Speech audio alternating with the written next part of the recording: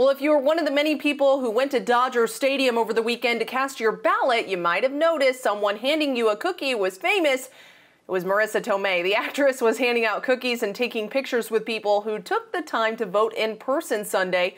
In person voting continues until 7 p.m. today, then Election Day, November 3rd. The polls close at 8 p.m.